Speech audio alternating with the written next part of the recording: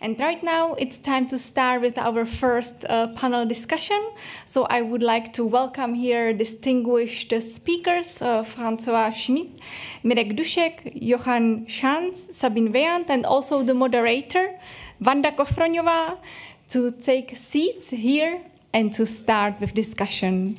So again, please, speakers of the first panel discussion, yeah, I can see that you are already coming to take your seats. There is no rule when it comes to chairs, so just choose whichever you want.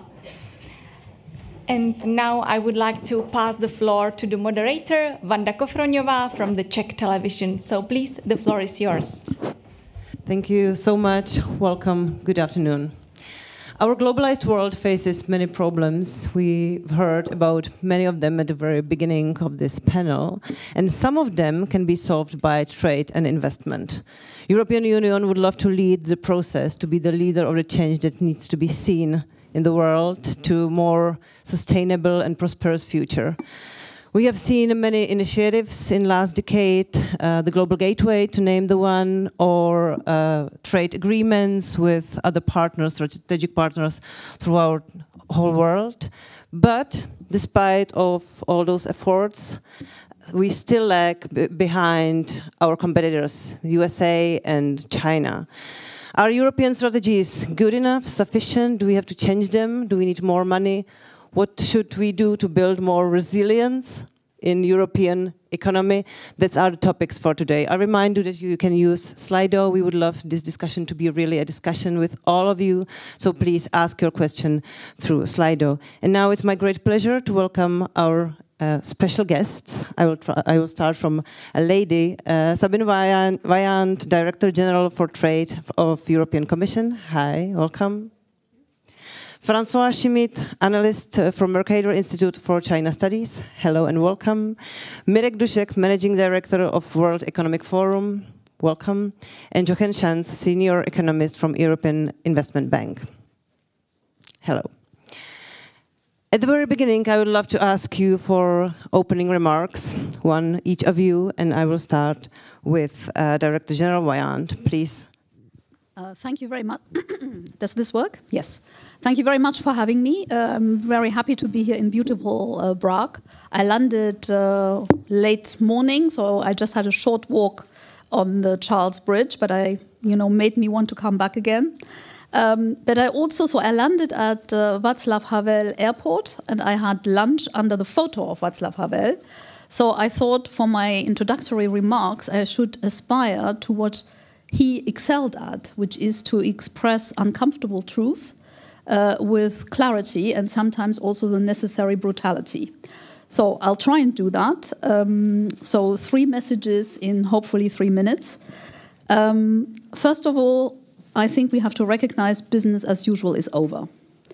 We live in a world of multiple crises. We have seen shifts from a rules based system to a power based system.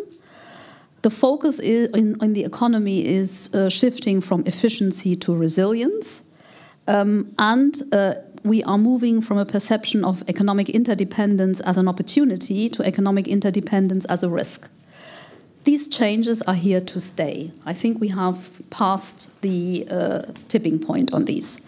So that's the environment we operate in. Second point, there's no room for complacency. We are rightly proud of our internal market, of our single market, which uh, uh, has been uh, this underpinning the strength of our economy. But we have to be very careful that we don't take it for granted. We are currently lagging behind, you mentioned it, uh, in productivity compared uh, with the US. Uh, in terms of growth as well, which is the ultimate driver of competitiveness. The gap started widening in the early 2000s uh, due to the slower emergence of the knowledge economy in Europe. There are many reasons for that, but the lack of single market integration, notably also the capital market integration, um, and uh, uh, sluggish investment are reasons for that. So we really have to get this right, and I think one of the next key themes for uh, the legislative cycle in Europe will be competitiveness, and that is for a reason. But the solution here should not be to try and copy uh, recipes that have already been tried and failed. rampant subsidization, unilateral tariff increases, or generally turning inward, that's not a path that will lead us to growth and prosperity. We don't even have to look back at the 1930s uh, uh, to realize that. Just look at the recent data on the impact of the Trump tariffs on the US economy. These Trump tariffs not, have not achieved any of their objectives. They have not shored up employment in the US, and they have certainly not uh, helped with addressing the trade deficit. So uh, let's focus instead on our strengths and promote a strong economy at home. That is the part, uh, the, the, the, heart of the Green Deal industrial plan, and that's also our long term uh, competitiveness strategy. And of course, trade and investment policy has a key role to play here. Our strength depends on the strength of the competitiveness of our exports. That is also the pathway to resilience, not just to efficiency and prosperity, but also to resilience. And I think that is something which is not necessarily sufficiently reflected uh, in the discussions uh, we, we are having uh, here. Uh, so, from that uh, uh, point of view, we really have some, some work to do. Um, we have rejigged our trade policy quite considerably over the last three or four years on the basis of open strategic autonomy. Um, we still need openness, we also need fairness, and we have equipped ourselves with a lot of instrument to act if our openness is abused. Um, and we are not hesitating to do that, whether we are talking about trade defense instruments or whether we are talking about the anti coercion instrument, when we are being uh, forced into uh, certain behaviors or try to be forced into certain behaviors. Um, and uh, I think all this requires constant work, uh, and that means continuing to invest in uh, reviving the WTO, bilateral trade agreements, but not just the standard trade agreements, the comprehensive ones, which are difficult to negotiate. But we also need to have more agile instruments, digital trade agreements. That's something the Czech Republic has always gotten right the insistence on digital. And the, because our competitiveness very much rests on digital, digitally enhanced uh, service provision. So that is something we need to focus on. Um, but the, and then we have new formats of engagement where tra trade agreements are not possible, and that is uh, uh, the Trade and Technology Council with the US, with India. But we need more. And the last point I wanted to make is we are still looking at different policies too much in isolation. And I think that's a luxury we can no longer afford. We need to bring together all policies industrial policy, um, economic policy, foreign policy, trade policy, investment policy in a coherent economic statecraft. That is what other actors have been doing for a while already, and it is something that we have to get better at. That is what is behind the economic security uh, strategy, but it is also behind Global Gateway, which you mentioned, where we bring together concrete projects, funding, and regulatory policies in order to promote our collective resilience and prosperity. And I will leave it there. I think it was more than three minutes. Sorry about that. Never mind. Uh, it was well spent time. Uh, Mirek Dušek would be the second one who I ask to uh, share with us his opening remarks. Uh, thanks so much. Thanks for having me. First, congratulations to the organizers. I really like the proactive uh, framing of the of the whole uh, summit. I represent an institution that is based in Geneva, in Switzerland global in focus, and uh, we work uh, with the public sector and the private sector, and so we work a lot with companies. So, if you allow, maybe I could just contribute to this discussion a little bit with the lens of how a lot of the business leaders that we work with from around the world that are either European or are invested in Europe. Uh, what are the things that they're looking at um, when it comes to Europe's competitiveness? I just wanted to underscore what you said just now. Also, for us, um, uh, post-COVID and, and, and uh, given all the other shocks, we really are in a different world, different economy.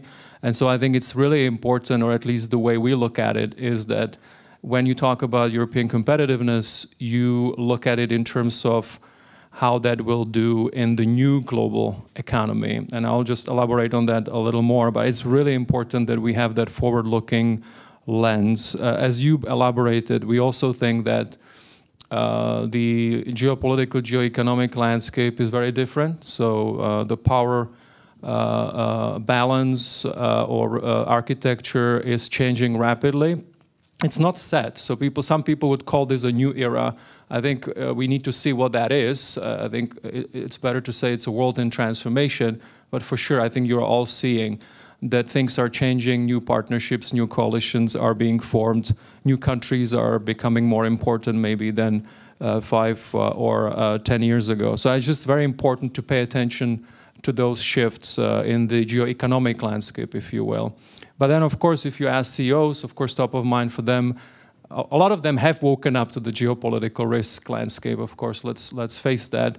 But then a lot of them, of course, pay a lot of attention to technology and uh, innovation. Uh, obviously, AI is top of mind for many, but quantum and biotechnology would not be very far uh, behind. And obviously, then companies also look at kind of the whole system of nature, climate, and energy together.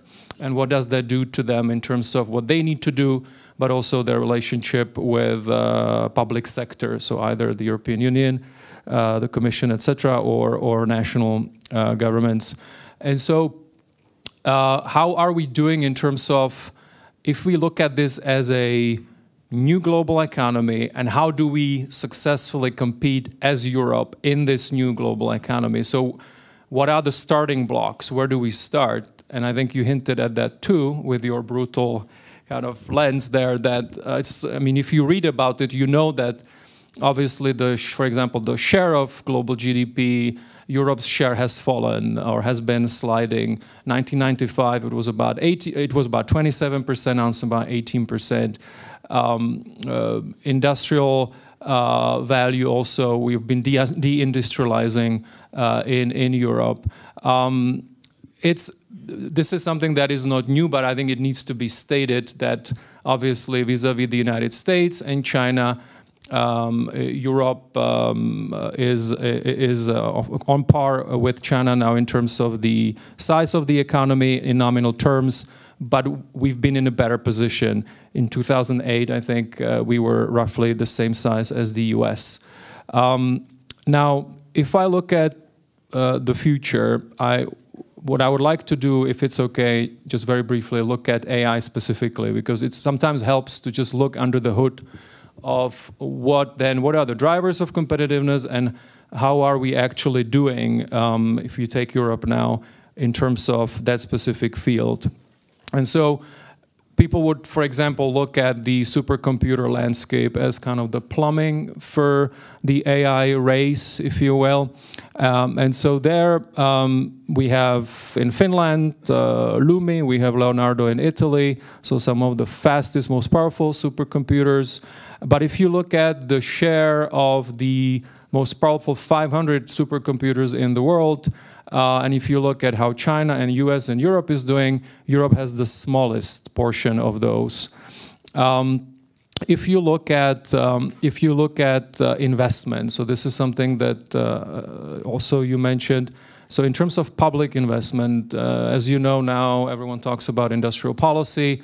So obviously, a big portion of that uh, is also related to the uh, technology space. Um, and so, for example, just as a factoid, in terms of the proportion of GDP, Saudi Arabia leads in terms of the public investment um, landscape in terms of AI. Uh, in, in Europe, uh, just so that we all know, Luxembourg and Slovenia are best in terms of how much government money goes into AI specifically per capita. But I think what is more important is private investment. And so there, the gap, uh, particularly with the United States in Europe, if we um, on AI, but I think it's then um, it could be um, it could be relevant for other disciplines. The gap is really striking in terms of how much private investment there is in the United States. China is far behind, but Europe is way far behind in terms of private investment AI. The other thing I would mention very briefly is also we think, in general, I think we're doing okay on STEM education in Europe. I think it's true, but I think what matters if you're really trying to compete is also absolute numbers. So there, for example, on STEM graduate, uh, the US and China, again, total number uh, much higher in terms of also the um, research centers, and I'll finish very soon. Uh, in terms of the research centers, also the most uh, high-ranked uh, AI research centers right now in the world, most of them are in the US. some in China, Europe uh, a little behind. So I, I'm, I'm happy to elaborate on this further. I just delved into things where Europe is not doing so well on AI. Of course, there is this huge promise of uh, of AI now regulation, the new legislative action. But just to paint the picture of how important some of these growth drivers are, they will drive competitiveness overall for actors in the new global economy. And I think it needs to, we need to be clear-eyed about where Europe is and where it needs to go. So that sense of agency is important as well. And happy to elaborate on it. Thank you so much. Uh, Mr. Chimits, I've seen a lot of nodding at the beginning, but then at the moment when Mr. Dušek was talking about the, the education, uh, you seem to disagree. So maybe before you start with uh, your opening remarks, uh, would you share us your thoughts? You don't need to. Okay. Okay, a pleasure to be here.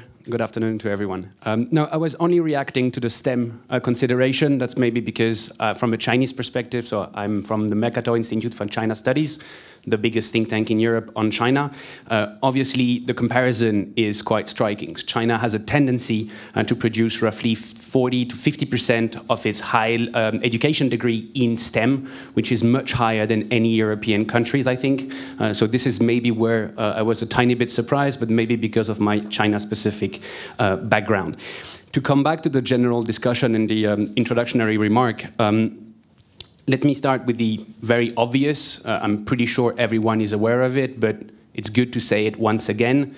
Um, Europe needs the rest of the world to pursue its basic objective. First, to access energy, either old energy or new energy. Europe does not have the domestic capacity to generate those commodities that produce that energy. Europe needs the rest of the world. By most metric, for prosperity, Europe also needs the rest of the world. There is a discussion on the potential undervaluation of the cost of, of certain costs related to openness. Irrespective of that, no country has been developed and prosperous without opening up onto the rest of the world. Those are the basic element of the conversation that simply exclude at least some chunk of the possibility regarding trade and openness we might have ahead of us. Um, now, now that we've said that, we've only excluded the most extreme ones, and we have a, still a very significant amount of options ahead of us. Um, and in that regard, unfortunately, I think for Europeans, reality has challenged our previous collective response, which was openness. By opening up, we were both generating prosperity at home and accessing the goods we needed from abroad, and even potentially contributing to securitizing our global environment by generating global prosperity. This is no longer the reality or a sufficient response to the reality of today, it seems. Two main challenges have come to challenge that, that balance. First one, and everyone has mentioned it, the geopolitical environment. Non like minded partners are on the rise like-minded partners are either on the decline or diverging from their like-mindedness. um, and the second big divergence is the challenge regarding the environment, where we are falling behind our objective to keep the global warming on track to a sustainable or at least uh, an environment we can survive in as human beings. And in that respect, that challenges uh, our response and openness no longer seems like the perfect answer uh, or at least by itself a good answer or sufficient answer to the challenges of the day.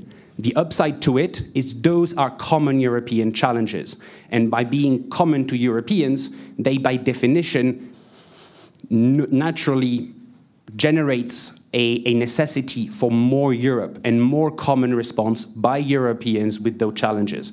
Um, and we are not starting from scratch. Uh, obviously, Europe is a big boat, a lot of inertia in it, obviously, as, as any big boat has. Um, but over the past four to five years, as an analyst on European trade policy, I can tell you uh, it has been extremely dynamic.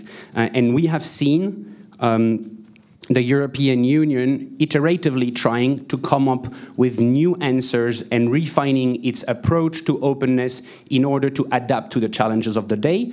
One large element has been around the Green Deal ambition, um, which has which is basically Europe going unilaterally, doubling down on its domestic effort to pursue environmental protection, which comes along some stronger effort to prevent environmental leakage because of that greater gap between European environmental efforts and the rest of the world, which is a change of grammar regarding the way we articulate with the rest of the world. It doesn't mean closeness, it means a more complex, a more um, balanced uh, openness.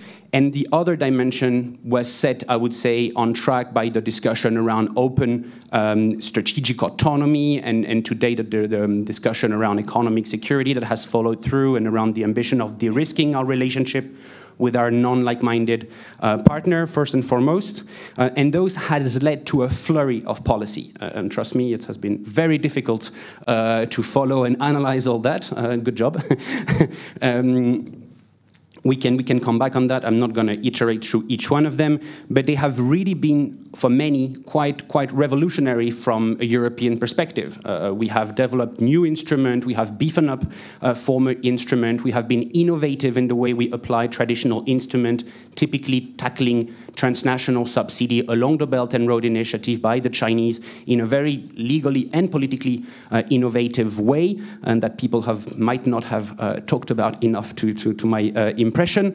Um, but unfortunately, challenges are keep on increasing and keep on accelerating. And, and, the geopolitical reality at our borders are unfortunate reminders of that. And so we need to keep on moving ahead. And I think to move ahead, there is mainly three questions we need to ask ourselves, and we need to collectively come up with a new response as Europeans on how what are our collective preferences in that regard. And the first one is more or not more Europe, and how do we have more of Europe?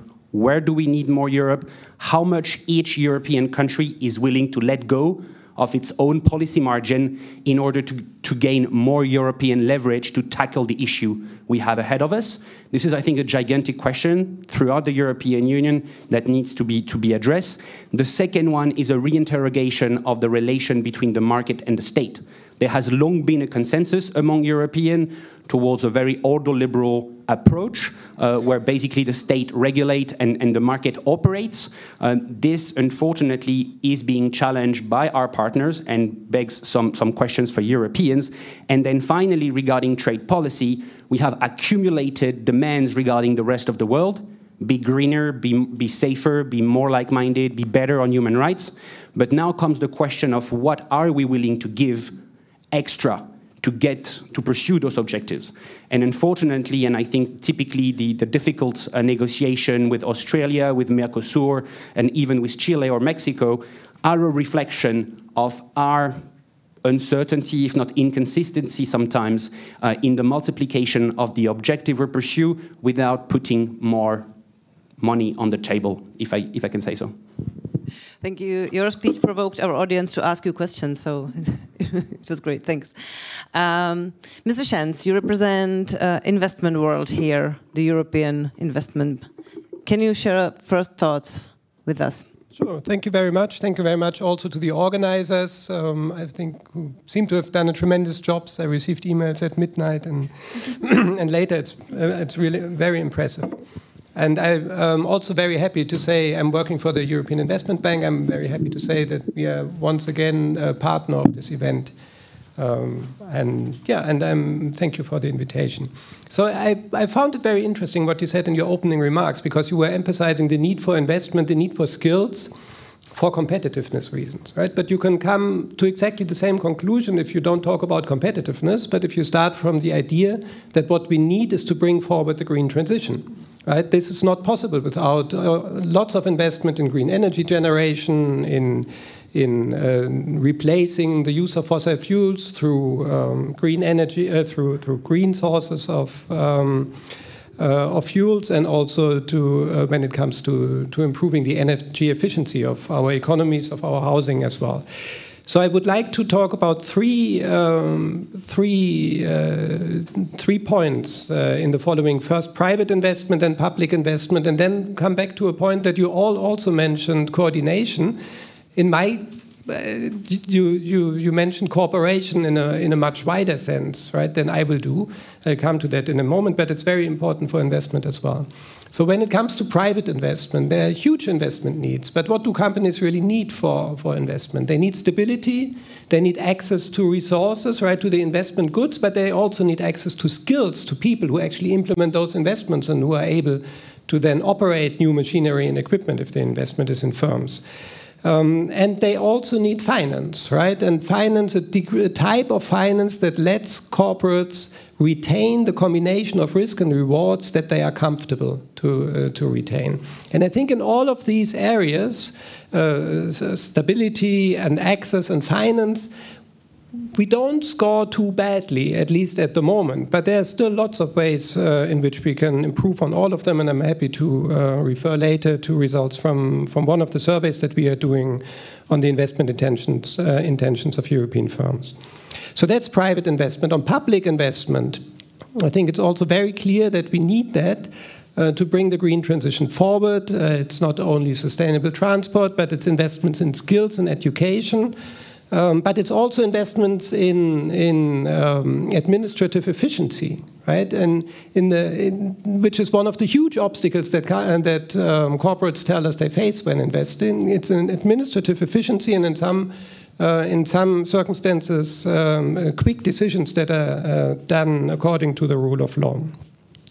So that's something uh, we, we, need to work on from a public investment side. And the challenge is here to really create the fiscal space to finance those investments. And public investment is just a small proportion of GDP, right? It's maybe 4 or 5%, a bit more in Eastern Europe. Uh, but it's not a lot relative to social payments, pension payments, and so on. So there needs to be the political will to finance these investments. And the last point I wanted to make, as I mentioned this already, is on the importance of coordination. So when you look at it from a perspective of investments, it's the, it's the coordination between, uh, between different uh, sectors, different uh, firms operating in different sectors in the economy and the public sector. And why is that? We are not looking at incremental changes to our economy. If you want to improve the fuel efficiency of a car, you don't need to coordinate, right? You invest in the necessary research and development, and you will have a successful product. But that's not working when you want to find a completely new structure for your economy, one that is more uh, more attuned uh, with, with environmental sustainability and which is able to, to slow climate change. There you need coordination. The basic example that's always being given is that nobody will buy an electric car if there's no charging infrastructure. Nobody will put up the charging infrastructure if there's no demand from it uh, from electric cars, right? So there is a lot of need for coordination um, here. And maybe the very last point I wanted to make, all this investment in the green transition creates a competitive advantage for Europe in the medium term, right? So it's good for competitiveness. Why? Because it will lower our energy costs. It will be a positive supply shock for our economy once we've gone through the years of, of transition. Thank you. Thank you. Um, I'll pick uh, one of the questions uh, from Slido I received because I think it uh, nicely starts the discussion. Uh, this session highlights a more sustainable economy. How do you define it? What is it? Sustainable economy. And I think it might have something to do with what uh, Mrs. Weyand said at the beginning, that the business as we know it is over, that we need to rethink it. So this is this the part of sustainable future, to rethink the business and how it should be shaped? Yes, please. Okay, then let me let me try and have a first go because I realized in my introduction I did not talk about the Green Deal. I mentioned it as part of the Green Deal industrial plan because for me it's a given. It's the, the, the Green Deal is Europe's growth strategy. Uh, the twin transitions are what we base our uh, uh, what we bet on for our future prosperity. So that's why I, I, felt no need to repeat that. But if I'm now confronted with the question of how do we define sustainability, then I think we have to go back to the basics and the three pillars of uh, sustainability, which is economic, which is competitiveness, which is the issue of uh, environmental sustainability. And here it is now essentially the net uh, zero carbon economy. Um, with everything that that entails, because that then also requires acting on biodiversity, etc. But that is that is the focus that drives uh, uh, the change. But then we also have to look at social sustainability, and that is inside societies. That is the challenge for Europe and essentially for the member states uh, to get that right, but also between different parts of the world. And there we see that we are also living through a time of transition. And it's not easy to get these uh, three uh, uh, uh issues, these three pillars of sustainability together. I think I will leave it there. But we need all of them. It's not just absolutely Green Deal that it make us sustainable for the future.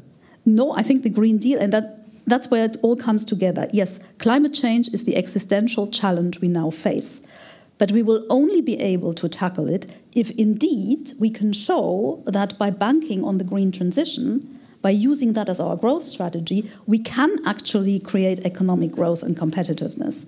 And it will only work if it is combined with a, a, just transition and social fairness.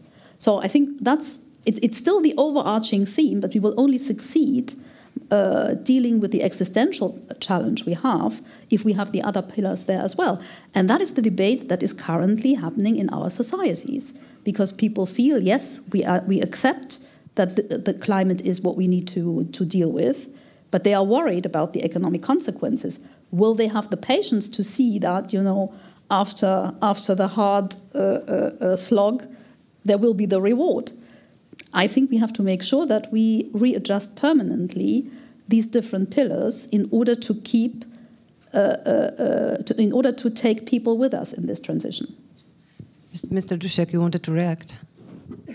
No, first, uh, just uh, this uh, adjective sustainable, obviously, it could mean both related to climate and environment, but it could also. It and the also question was how do you define it? So yeah, but I think just to say that sometimes uh, also, of course, it's about how are you on a sustainable course overall with competitiveness. I think you described it very well, but just to say sometimes it's a little confusing. People mean different things by it. Um, then, if I could just react to the uh, private investment, I think you you you said uh, that um, Europe is doing okay um, I think that, um, for example, just I happen to have the AI numbers here, so uh, just there because I do feel that um, it is really one of the key growth areas for businesses, for for for economies. Um, there, according to to this, 47.4 billion in 2022 was invested in AI in terms of private investment. China 13.4. So already the China the, the, the, gap with China is huge, and Europe is under 10. Um, again, it may be different for. I think you talked about the um, the, the, the net zero technologies, etc. But just to illustrate, I think that there are certain areas where. Uh, through whatever capital uh, deepening capital uh, union etc or making it finally work uh, I think that needs to be taken very seriously if we are to really compete seriously on innovation in this new global economy. I fully agree uh, with you on the fact that the uh, the net clean energy economy or net zero economy, whatever we call it, is a huge uh, huge opportunity for Europe and for the European economy. Um, now, having said that, again, there, I mean, you all know it, but just to state it, for example, if you look at what the net zero technologies are, so it would be solar, wind, batteries, electrolyzers, heat pumps, just to say a few. And so I think you all know that right now on solar, uh, in terms of the, uh, at least the production, uh, is, is, really dominated by, uh, by China wind, uh, also um, uh, batteries. So it's really electrolyzers and heat pumps where where uh, Europe now actually electrolyzers are you know for, for producing hydrogen uh, where Europe now is doing quite well we actually dominate the production right now and so if you listen to Mrs. von der Leyen I mean she's clear-eyed clear-eyed on this that then there are certain measures being taken how do we make sure that also this doesn't happen to uh, some of these uh, technologies. But overall, I would fully agree that this is one of the growth areas uh, for Europe. And the final point, I would just also like to agree on the social dimension of uh, the uh, transition to, uh, to net zero and to a clean energy economy. I think that we've seen it now clearly that there is that thing about how do you bring everyone along. The social dimension, I think, is super important. If you listen to Šefčovič or others now coming in, having those introductory speeches in the European Parliament, they're quite clear on that. Um, and and there, I think it's really important to think through what the farming communities, the mining communities, and other communities that are dependent on either the production of fossils or, or, or, extraction of fossils, or if they're using practices that are actually contributing to uh, carbon emissions. Uh, we saw it in the Netherlands, the huge crisis that we saw out of that political crisis that we are still uh, seeing before us. And so those things, I'm just glad that this is being taken seriously because I think this is uh, this is kind of the, the final thing that needs to be completed, if you will, on the European Green Deal.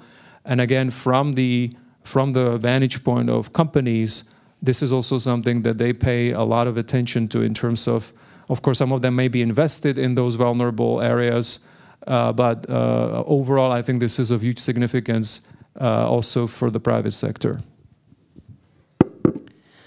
This topic uh, actually triggers our audience a lot because we had a lot of questions about it. I don't want to go too much into details uh, because this should be about investment and trade. But uh, I would love to ask you one more question about the digital economy. Uh, is the risk from the shift to a digital economy best mitigated by trying to win the AI race or instead limit the immense accumulation of power by the companies? Maybe Mr. Dušek, it's uh, again on you because you represent the um, the companies here, the the private uh, money? Um, I, I, don't want to uh, uh, steal your time here, but just very quickly, I think this is a very obviously a very important question. In terms, so the digital economy is expanding. So uh, it, it is something where we are, you know, we we're seeing more and more of the economic activities in the digital domain. And obviously, there is a huge risk around concentration. Uh, and if you followed um, the executive order in the United States, if you follow the discussion in the European Parliament around the AI Act, if you also follow some of the companies themselves, uh, if you just look at the discussion uh, between, uh, on one hand, Meta and others uh, who are advocating for open systems in terms of um, generative AI, and OpenAI, and Microsoft, and others who may be saying we need to we need to have we need to focus more on the uh, uh, other models, the foundational models that are not open. Um, uh, this also is about that. So it, there is a huge discussion right now within the private sector, but also, of course, with government around what that future looks like. Um, uh, and uh, I think this is something that, of course, then um, uh, within national boundaries, there will be uh, regulation. The AI Act will also be looking at that.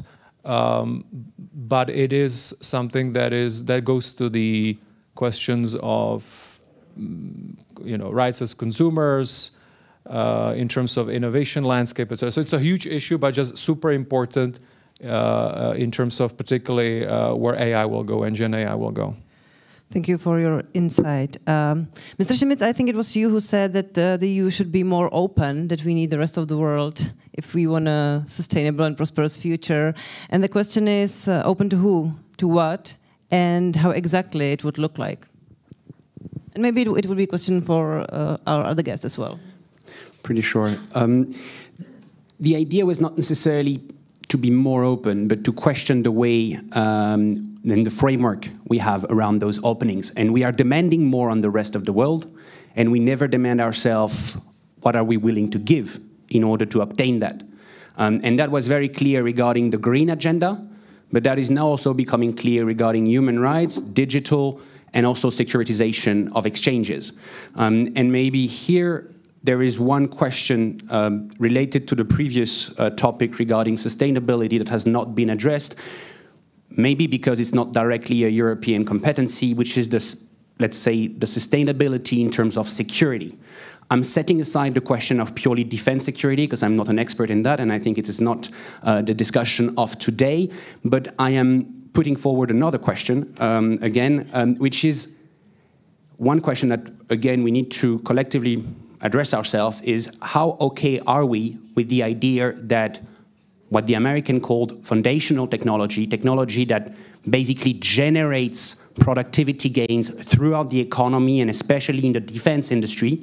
Um, how are we okay with the idea that those technology might fall in the hands of powers with which we are strongly diverging and strongly not like-minded? We have all lived as European through a long era where those questions were not on the table because the American had the lead and they were like-minded, so we did not have to ask ourselves so much those issues. Uh, but unfortunately, nowadays, and typically in the case of China, this is a question we have to ask ourselves. And how do we respond to that? And that comes to the question of how do we open and with who we, open, we, we are open with and where. Um, the simple answer of just we decouple is not feasible, not optimal, and potentially completely is going to completely backfire. Um, so we have more complexity ahead of us, which is exactly where do we agree to engage with not like-minded partner or even systemic rival or confrontational partner and how do we articulate on those specific areas? How do we articulate with uh, China on AI? China has stuff that we need on AI access to data, capacity, technology, a very dynamic consumer market that is actually very innovative, um, uh, seeking, uh, so you have a demand for those products. We need that. How do we articulate with them to get that and minimize the cost for us regarding our preference in terms of human right, technology leakage, uh, spillover of our technology into the civil-military fusion uh, policies that they have to develop their own defensive capacity. And those are typically area where, unfortunately, um, despite the pressing needs, we have not come up, I think, with a uh, stable framework of operation. And this is largely because member states refuse or at least are not keen on having those conversations and on really engaging because they are jealous of their own political um, ability to navigate by themselves unilaterally. Mrs. Weyand, I'm really curious about your response. Oh, thank you very much. Actually, I was I wanted to react to something you said in your introductory remarks, and that is reality is challenging our traditional collective response so far and calling into question our traditional approach to, to openness. But what about if we get the answer to that challenge wrong? And I think we are at risk of that because um, we are all talking, as I said, we are shifting from efficiency to resilience. But if we are interpreting resilience as meaning that we are better off closing ourselves off to the world, and there are tendencies like that in other countries, but also inside Europe, then we will pay a very hefty price for that, not just in terms of prosperity and efficiency, but actually in terms of resilience.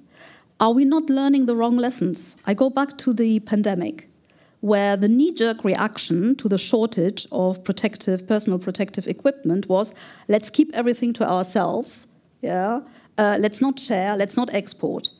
Um, with the benefit of hindsight, we saw that the only effect of the export restrictions was to drive prices up even more and to make scarcity even more problematic. And there are OECD studies that have shown that longer, more diversified supply chains are much better than trying to reshore. And, you know, we tried to get mask production back to Europe. I think there was a lot of taxpayers' money spent on that. But then everyone went back to buying cheap Chinese masks uh, when they became available again. So I think we also have to be very careful about what are the lessons we learn.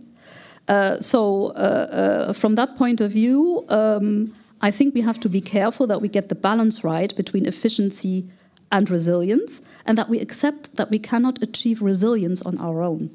We need to have collective resilience.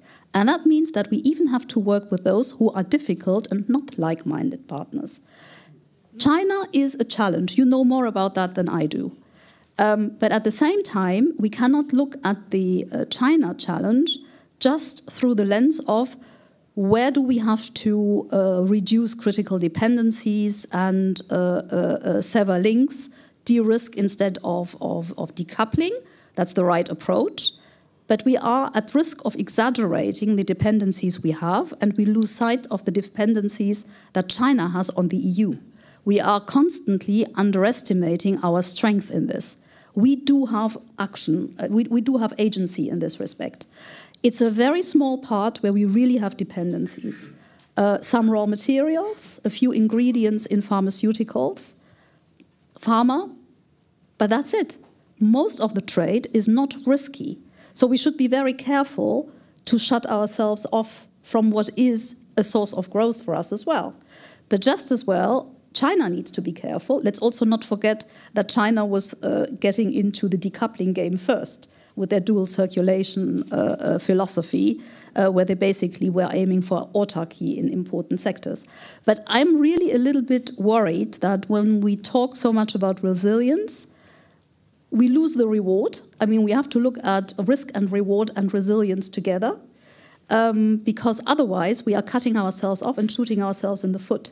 Uh, and that is a discussion we still have to have in Europe. Last uh, remark I wanted to make I totally agree with you. Um, and we should have learned that uh, with Russia's full scale invasion of uh, uh, Ukraine and uh, our policy of using export controls as a means of sanctioning. What we have seen there is that there we have a clear lack of a European approach. This is every country insisting on its national security competence. Fine, you can do that. You have the law on your side. But the reality is that whatever export control a European country introduces has ripple effects throughout the single market. So, um, and then of course, if you know you have the other country reacting to export controls we take by retaliatory measures, then of course the country that has taken the measure in the first place turns around and says, Europe, now you have to protect us.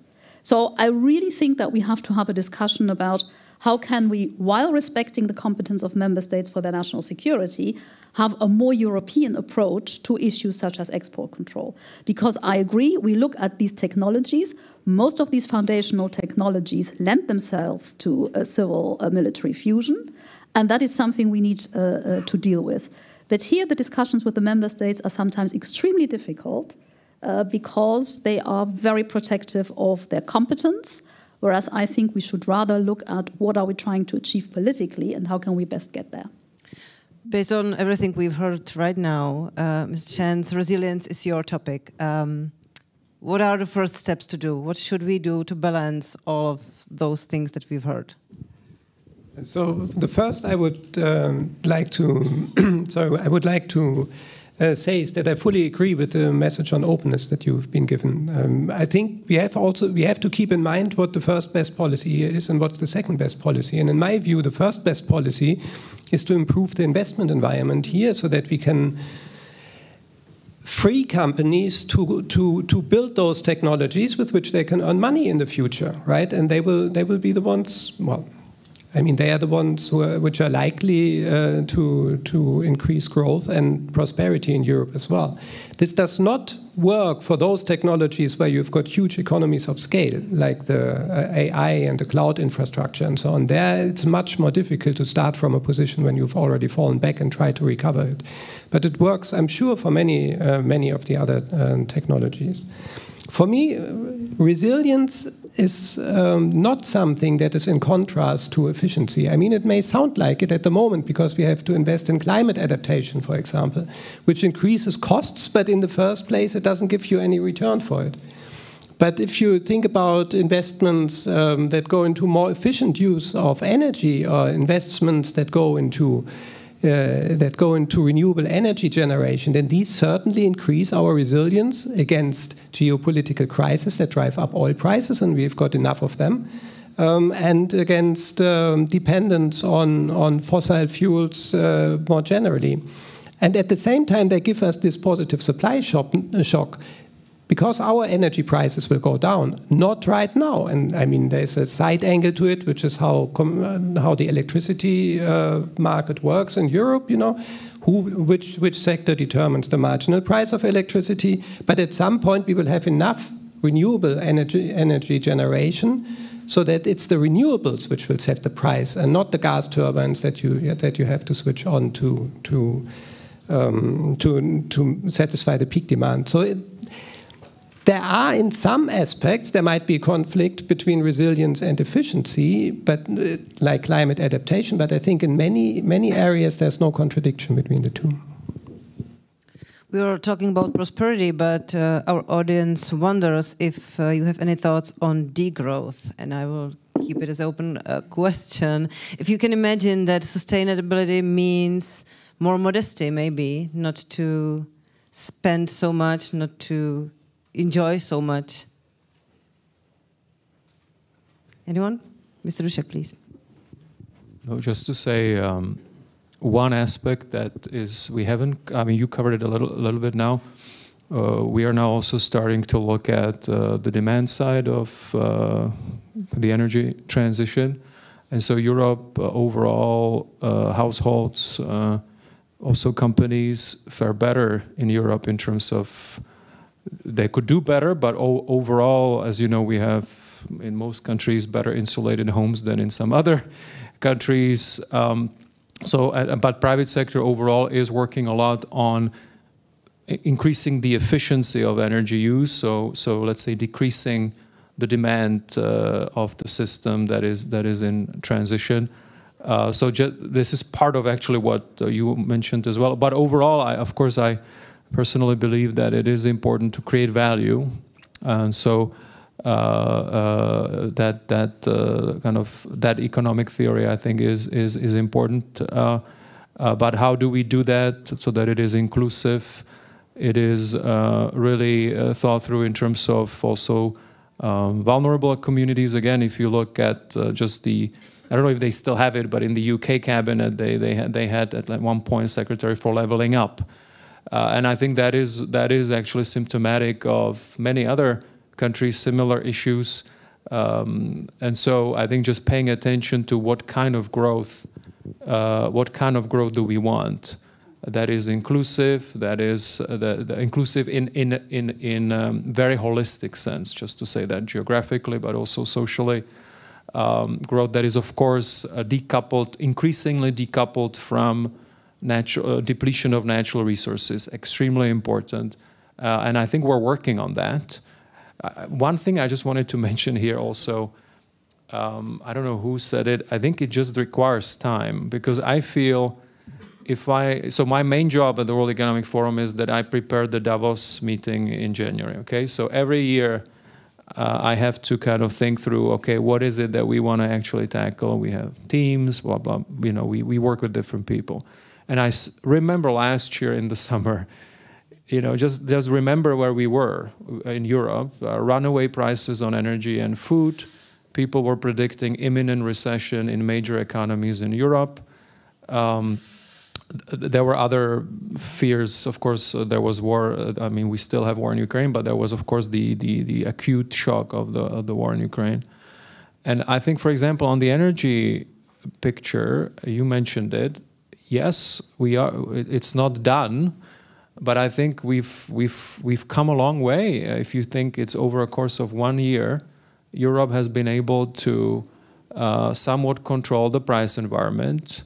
Um, it's it takes time to be able to put together the infrastructure for the uh, for uh, you know EVs, for hydrogen-powered trucks, whatever you name it. These things take time. You need to also create markets for it. Uh, and so I just wanted to say that because people sometimes want to say, okay, we need solutions tomorrow. Similarly, on trade, I don't know. Uh, I, I, follow more the US uh, thing on trade. So obviously, Jake Sullivan has this famous small yard high fence. But then, if you actually read the pieces he puts out, they're still working on it. No one knows what parts of AI are going to be uh, safe enough to, to so that there is no, no there are no these spillovers uh, but um, there are many fields where people conduct business uh, between the United States and China. I think we had what 800 billion dollars record year in U.S.-China relations.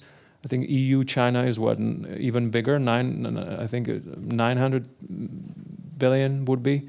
So it's still just to want to make sure that yeah, there's a lot of talk of decoupling, but we have uh, record volumes of trade uh, but I, and people are working through those issues. What are the lanes where we can conduct business? I do think that overall, the more competitive environment is here to stay, but I also think it takes time to figure out where you, where you can play. And hopefully, that space where we can play and conduct business is as big as possible because, as you know, I think the IMF and the World Trade Organization put out some numbers that it would cost us, I think, 7% of global GDP if we have protracted fragmentation of the global economy. And obviously, uh, that is inflationary as well. And, uh, and of course, hitting the most vulnerable in our society. So, overall, I just wanted to maybe just say that the, the solution space is very good, and I think everyone should be working on that. But it's also quite difficult and it takes time. So, just to say that. Can I come back to the no growth? Uh, sure, question? sure, sure. Just, for, just in two sentences. So I think when, when uh, at least when I, but I think I'm sure it's similar for you. When we advocate investment and growth, it's not because we think about the desire, the, the, the benefits of having bigger cars and greater factories and whatever. but the thing is, growth creates resources, and we need enormous resources right now for the green transition to prevent climate change, right? And we don't have much time for that. We do need time for many of those markets and products to develop, and we've, we've mentioned it before. But so this is the first big area where we need resources, and they need to be generated. The second big area where we need resources is pensions. Right? If we don't have substantial productivity growth over the next 20 years with population aging, our standard of life, or that you know that at least of the older generation of us and of the youngest as well, somewhere the money has to come from, right? we need the resources to support um, the aging um, of society. And then, in a more uh, short term vision, um, it, it just happens to be the case that if you've got growth, sectoral changes become easier because you create new opportunities in areas that are increasing and that gives people who work in areas that are declining um, a, a, chance to continue their professional career elsewhere. So lowering consumption is not the way for now today. Yes, I would say it, it, could be because what we need is to spend these resources on investment, not necessarily to increase our consumption. Right? Thank you so much for, for saying that. Um, I would like to go back to um, agreement of trade that European uh, Union conducts.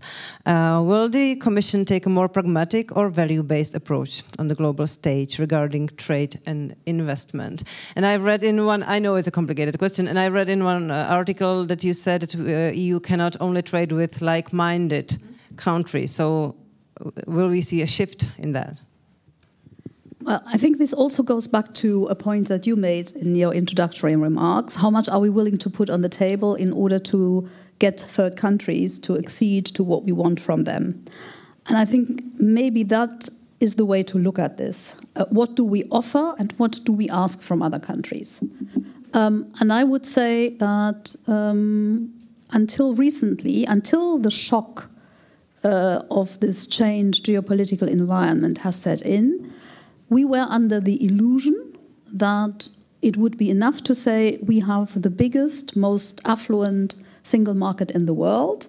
In order to accede to it, you also have to buy into our standards, you have to follow our practices. There's a conditionality of access. Um, that may work with partners that are a lot smaller because in trade, size matters. And access to the single market for smaller countries is extremely important.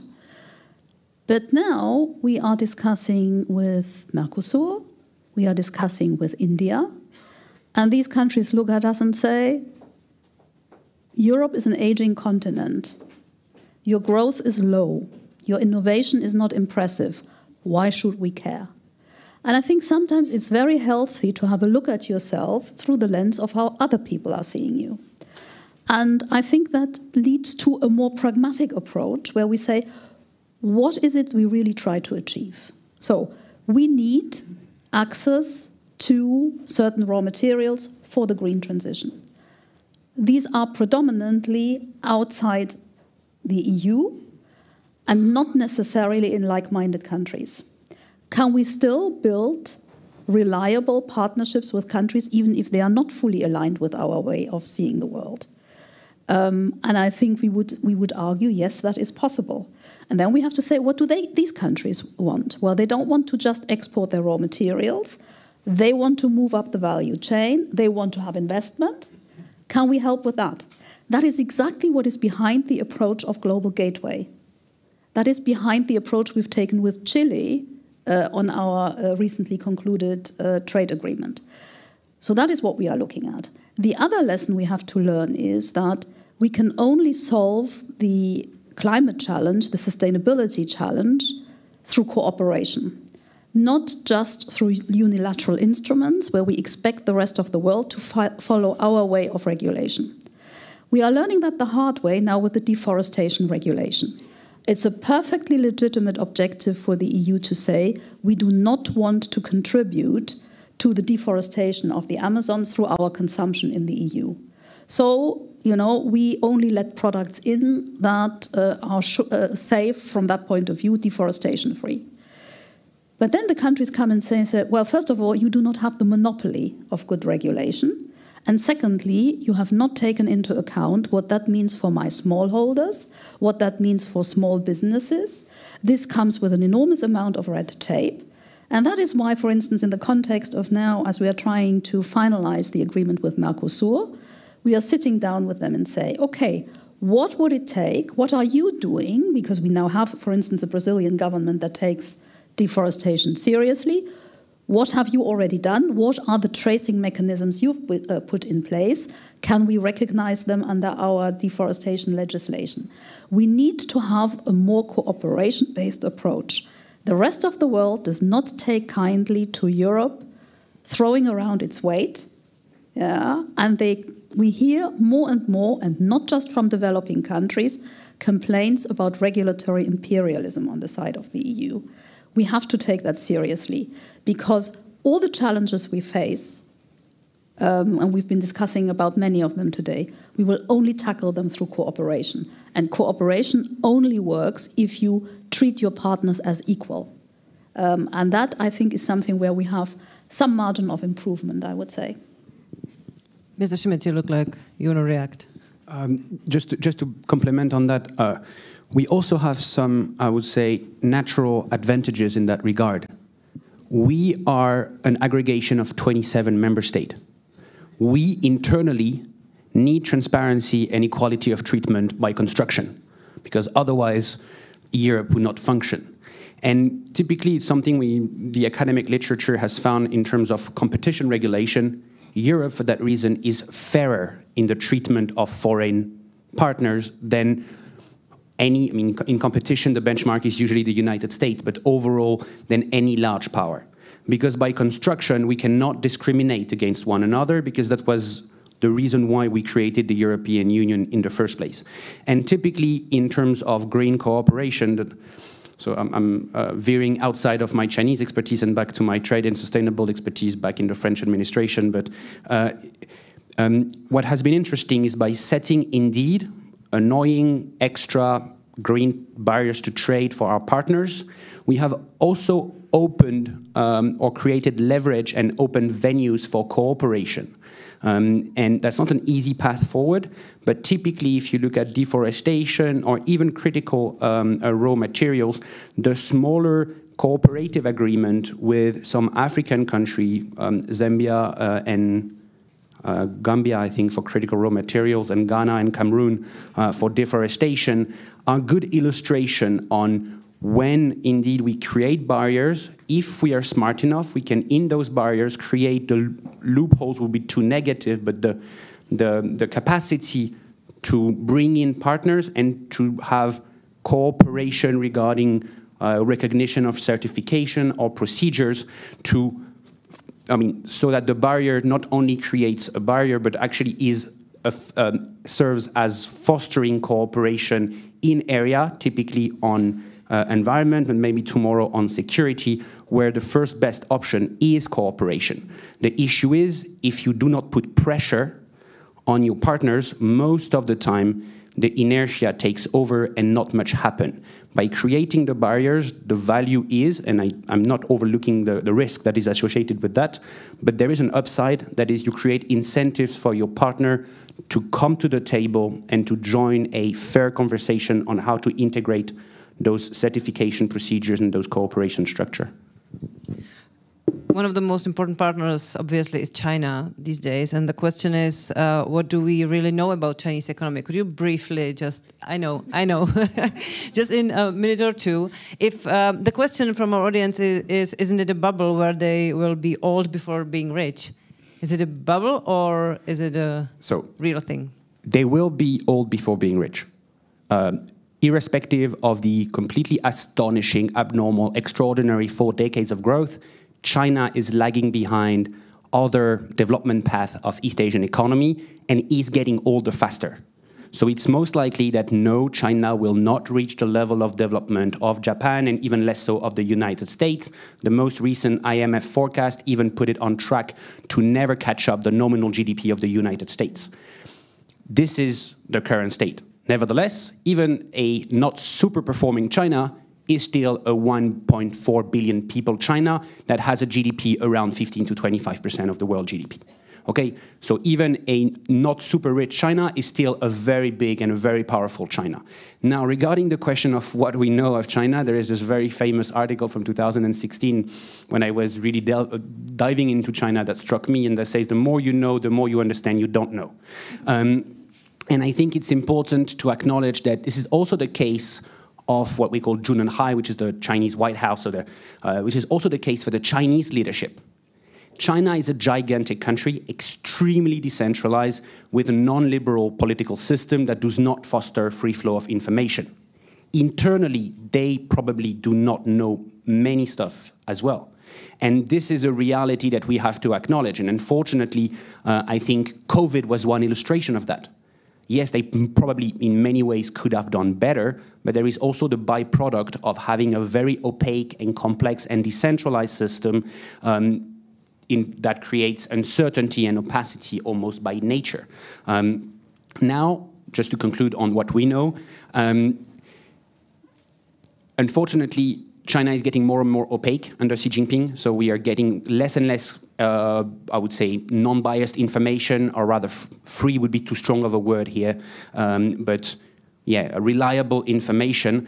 Um, however, they are still performing astonishingly well in sectors where they want to focus on, or at least they are able to channel an awful lot of resources to those sectors in a quite in a smarter way than they used to do before. Um, and here, maybe one uh, idea that I want people to to to have in mind uh, after that intervention is that a more statist China is not a USSR 2.0 China. They're ambitioning to develop a much smarter, much more complex system where the state really harness market forces to guide it to the service of the Communist Party's objective, which is, unfortunately, techno-industrial self-sufficiency with sometimes uh, uh, uh some shades of very nationalistic uh, dimension that are not reassuring. Sometimes. China is a big country, it's complex, there is not just one China, there are very different Chinas, um, and depending on who you talk to or depending on the dynamic of the growth of the day, you might hear very different uh, um, narrative of very different signal. What is difficult to know is what is the reality at the central of power? What is the narrative that dominate in Xi Jinping's head? And that is extremely difficult because we are facing a communist Leninist opaque power.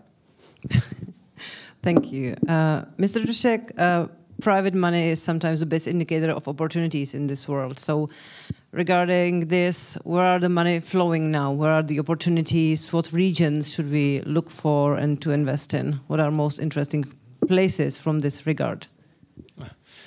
Um, just uh, so obviously you're right. Um, it is a fast-changing geography, economic geography out there uh, different growth markets. Um, I don't want to pick any winners here, etc. I think people know, for example, right now, uh, there is a lot of um, attention being paid to India and to uh, some other economies also in Southeast Asia. Obviously, there are certain companies that are making China plus one decisions around uh, production, for example.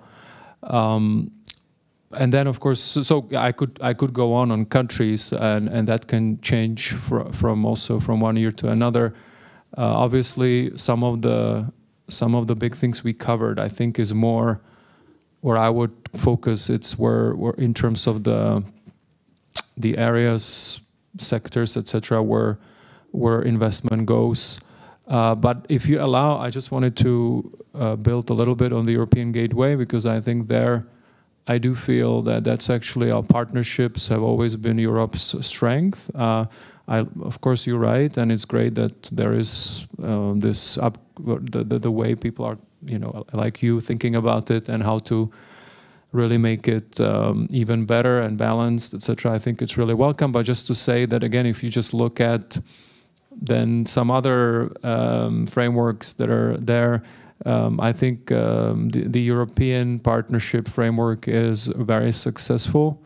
And one thing I just wanted to share with you, what I liked is that I was um, I was in Central Asia in one country, and so there we were talking about the middle corridor, and there were all kinds of leaders there, and um, and then from there I went to I went to uh, Dubai on something else, and I was talking to this business leader who I'm known for a while, and uh, and he just told me, "Oh, I'm there as well. I'm, you know, I'm investing in the the European efforts there." I think I can't remember whether it was an EIB uh, funded or EBRD funded thing, but just to say, I think that what I think is quite special is that uh, and I think that's the strength is that if you have actually private sector entities that can compete for these things and be part of some of these larger infrastructure uh, frameworks, of course it's maybe EU funded, but then you really open it up. It's an open system where others can compete based on merit. I think that's a huge strength. And I was actually surprised by the fact that he was invested there, uh, but just wanted to mention that. Um, and then, if I, if you may, just on the growth thing, one thing that I think is also important, why it is important that we do grow, is that we do have a, uh, of course, very shrunk uh, fiscal space after COVID. That is also being, of course, then we need investment, but just COVID meant that uh, our fiscal space is much, much smaller than before. Um, we have also a huge issue of uh, debt uh, in a lot of emerging markets. And so uh, uh, everything that was said about growth is important, but just to say that even for that reason, it's super important that we don't lose sight of how we can grow. And as you know, we live in a historically a very low growth environment. 3% globally is a very low growth environment. We used to average 3.8, 3.9. So uh, we really need to do something about that. Thank you so much for your thoughts. Unfortunately, 75 minutes is over. I know we could be talking for hours more, but unfortunately we cannot. So thank you very much for your attention. Thank you so much for joining us. Sabine Weyand, Francois Chimits, Mirek Dušek, and Jochen Schanz were my guests. Thank you so much, and I hope we got it right. We had the goals set right. And uh, yeah, good luck to all of us.